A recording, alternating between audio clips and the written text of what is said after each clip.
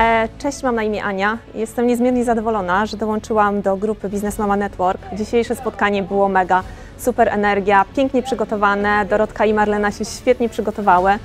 E, wyciągnęłam z tego dużo, dużo wiedzy, mam mnóstwo notatek.